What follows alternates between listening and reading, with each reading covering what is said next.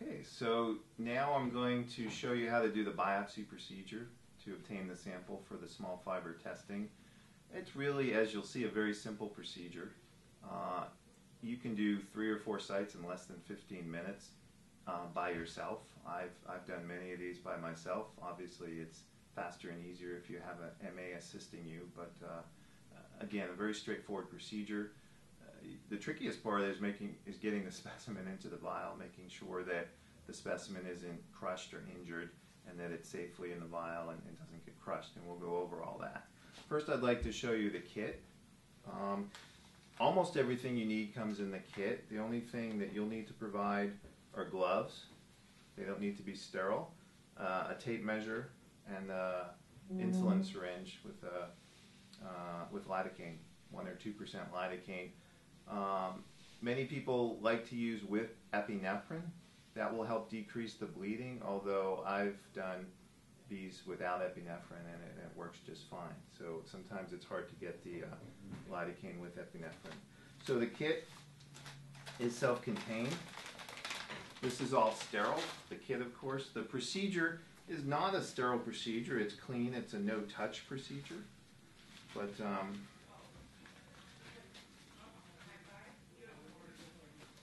the kit will contain the biopsy punch tool, of course.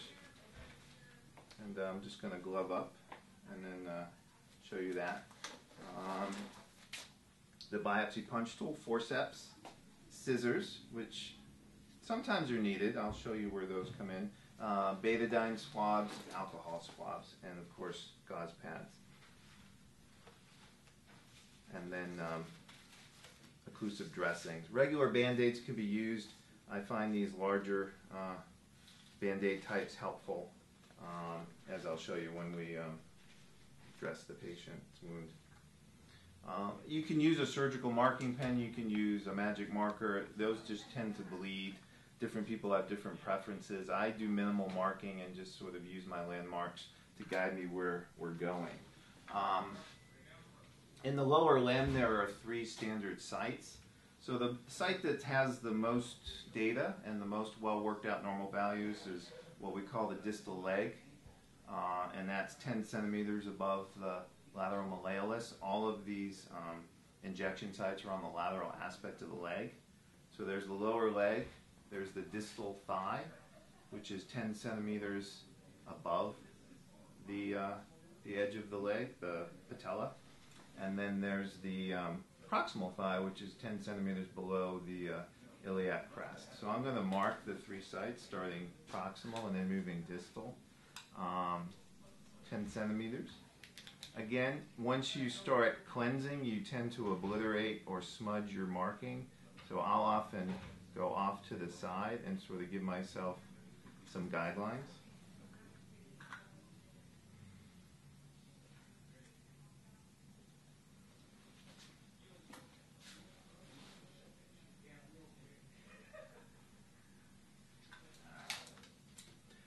You'll see the kits come with both betadine and alcohol. Some people just use the alcohol.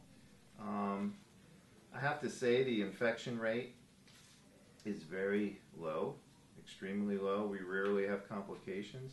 Um, I do tend to use um, the betadine and the uh, and the alcohol. So I do the betadine first. Beforehand ascertain that the person doesn't have any allergy or beta, allergy to iodine or betadine. Um,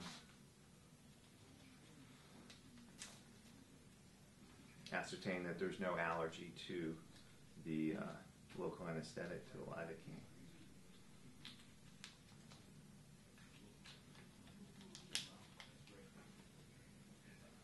So as I mentioned, these are the commonest sites. There is a fourth site on the leg that can be done, and that is um,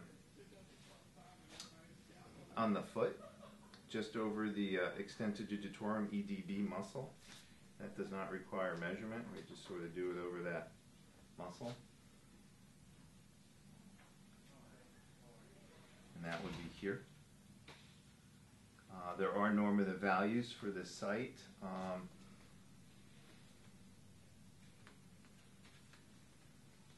so I, after the betadine, then I come across and clear the way with alcohol.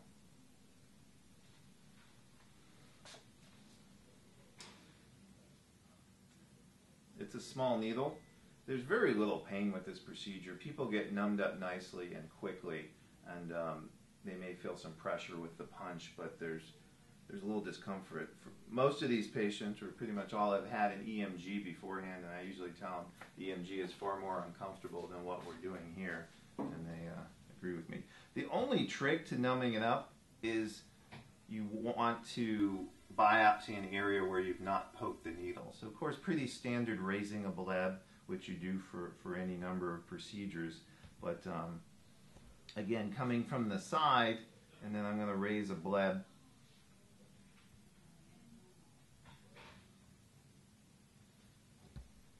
And you see the needles here, and I can go there, and I will not have affected the skin. Um, it varies how much lidocaine you need. You, you can see here that I'm not needing very much. Some people, the lidocaine gets absorbed.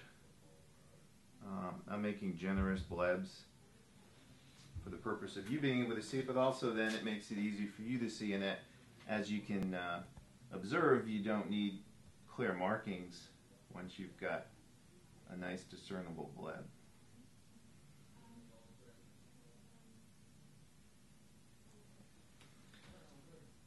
There's the issue of how long to wait. I do not wait very long. I find that anesthesia sets in very quickly in, in, in almost every patient. Um, usually I'll uh, start with the distal site in terms of my biopsy. So I may, in, in my normal practice, I may anesthetize that first. Basically, I'll anesthetize the three sites and then go, by the time I'm done doing the third site, I'll go back. I guess having said that, I don't necessarily biopsy three sites in every patient. Uh, it's going to be based on the clinical pattern, but as you'll see on our website and other material, you want to biopsy at least two sites, a distal and a proximal site, so you can get information about length dependency. So you can poke the site and see if the patient feels it. I mean, they may feel pressure, so you ask them, do you feel like I'm poking you with a pin? No. So here's the, the tool. Um, basically it's like a cookie cutter. So it's a three millimeter punch and you're going to take out a core of skin. Most of the time, as you'll see probably, the skin will remain in the patient. Sometimes it comes out with the biopsy tool and you have this trocar that you push through and, and, and to remove it. Um, with your uh, kit, there are also uh, vials of fixative.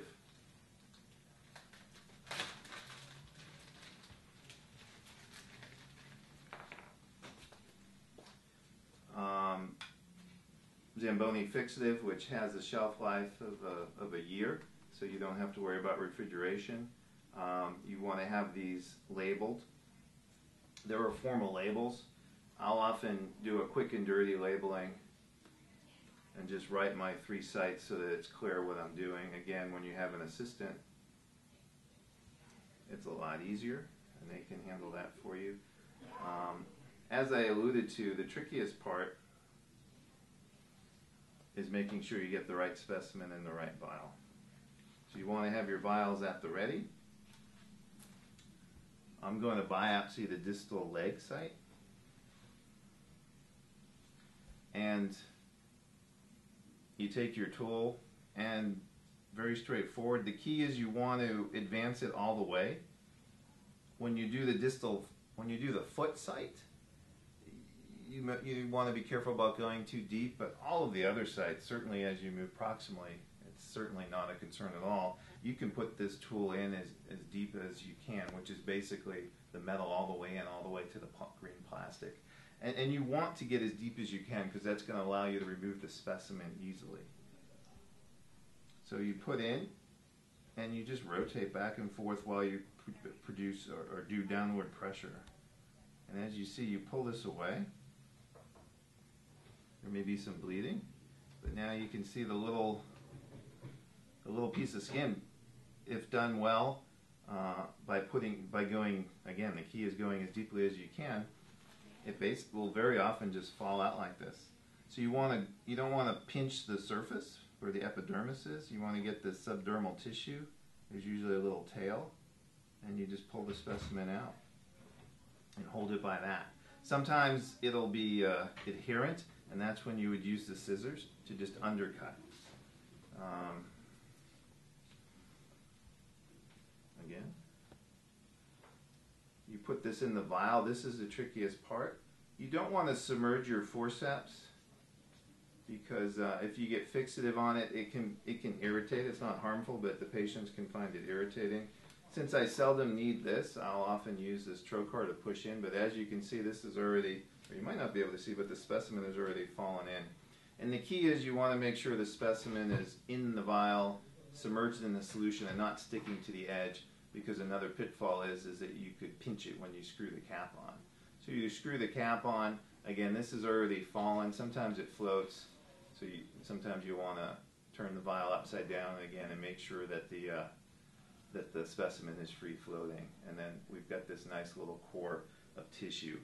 You you know going deeply as you can with the punch allows you to easily remove the specimen so there's no tugging which will stretch and distort the specimen and give us artifactual results when quantifying the nerve fibers. The other reason to go deep is if particularly if you want to do a sweat gland analysis, those are located uh, deeper in, this, in the subdermal tissue, and um, the, the, the deepest you can go with the punch, the better chance you are to get specimens. So you want to check and make sure there's a hemostasis. Again, it's usually not a problem. I've never had to put in a suture or, or do other means. I'll take a gauze pad and place it over this and then use the bandage, putting it over the gauze helps to provide a bit of a pressure dressing. And the patient can use that or put, keep that in place till the next day and they can change to an ordinary band-aid.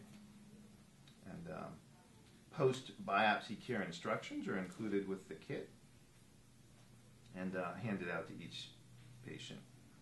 So that is the procedure. Again, then you could go on and do the, um, the other two sites.